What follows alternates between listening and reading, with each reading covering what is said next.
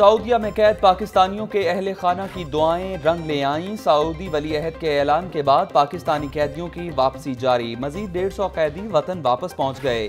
Lahore airport پر تمام افراد اپنے پیاروں کو دیکھنے کے لیے بے تاب نظر آئے۔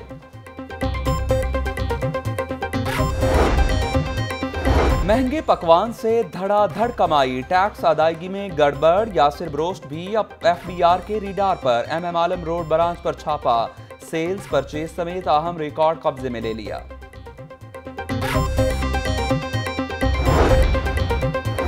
انجینئرنگ یونیورسٹی کے وی سی کا انتخاب نان انجینئر کریں گے۔ ہائر ایجوکیشن ڈپارٹمنٹ کی بکری پالیسی۔ یو ای ٹی کے وائس چانسلر کی تقرری کے لیے پانچ رکنی کمیٹی بنا دی۔ کمیٹی میں انجینئرنگ فیکلٹی کا کوئی ممبر شامل نہیں۔